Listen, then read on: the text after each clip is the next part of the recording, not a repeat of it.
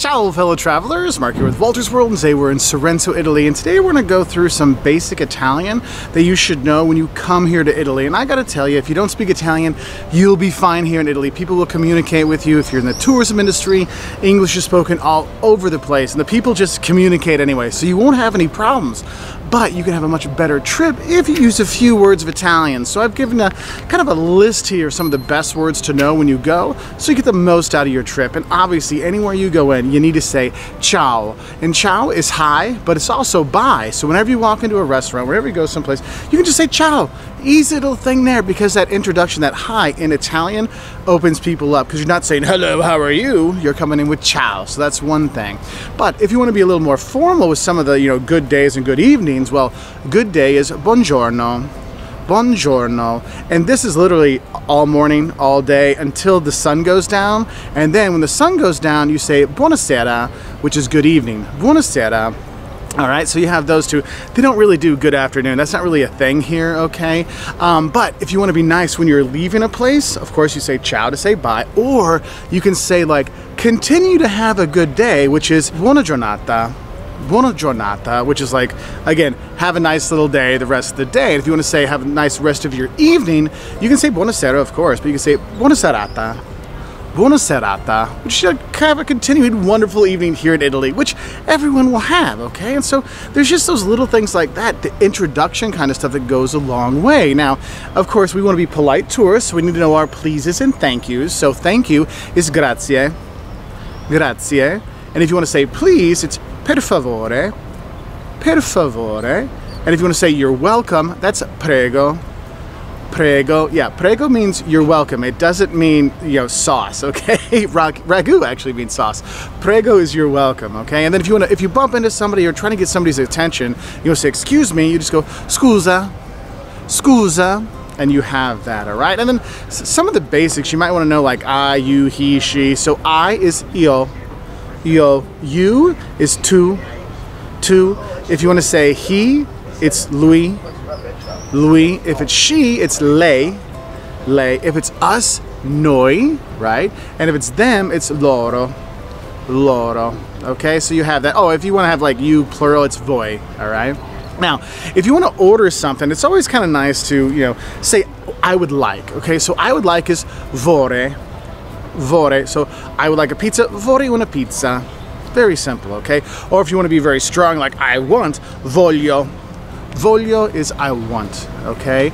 Now, if you want to know like yes or no, ciao, come stai? Tutto bene? Bene, bene, grazie.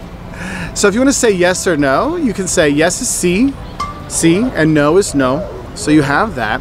If you want to ask where something is, you say dove, dove. So where's the bathroom? Dove il bagno?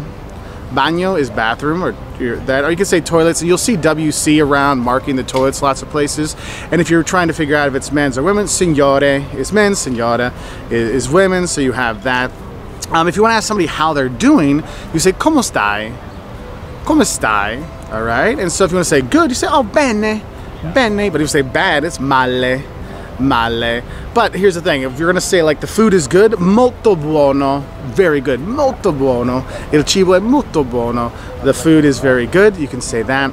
Um, if you're looking for a restaurant, or they have ristorante, or you might see trattoria for another kind of restaurant word you're gonna see when you're here. But of course, probably the most important word to know when you're going to a restaurant in Italy is you're gonna ask for the bill at the end. And it'll take some time to get it, but the bill is il conto il conto. So if you want to ask for your bill, just get their attention, say scusa, il conto per favore, and they'll bring it to you no problem. Now, some of the things you might order in terms of drinks, if you want water, you have acqua, but if you want still water, you say acqua naturale, and if you want water with the bubbles, it's acqua frizzante. Okay, so you have that. Uh, spritz is the the bubble, this you know prosecco and bubble water, and you get different things in it for whatever you want. But a spritz is a really refreshing drink here. If you want a beer, it's a birra birra. If you want wine, it's vino. Pretty straightforward when you're here. And I think on the menu, which might be important for you to know, is primi piatti and secondi piatti. So primi piatti, those are first plates. Those are going to be your pastas, okay? Secondi piatti, those are going to be your meats. And if you order both, they'll come well, first the plate, first plate will come, and then the second plate. Or in some restaurants, let's say you get the pasta and your your friend gets the meat. Well, you might get your food at different times, so you might want to tell them to bring it out at the same time. And I could go through like the words for pasta, but there's so many different pastas here that it's just just eat whatever pasta they have for you. You'll be all right because pasta is pasta, so you're all right with that. Um, if you ever wonder what that ragu, remember ragu. Whenever you see that a pasta with a ragu, it's going to be a, usually a meat sauce. Okay.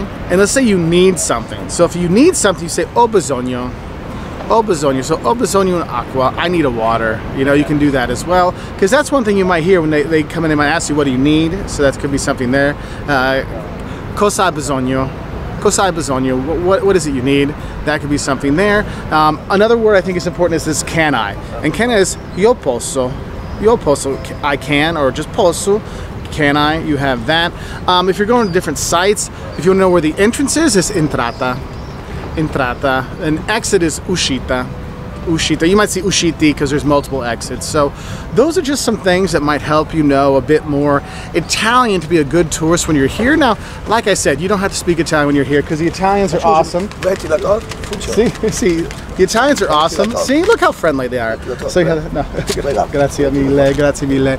So you have that, and the Italians are great. And even if you don't speak Italian, they'll still be fun with you. So just know that you're ready. So have a great time if you're in Sorrento or if you're coming to Italy, and just know a few words. At least ciao and grazie will go a long way. Ciao from here in Sorrento.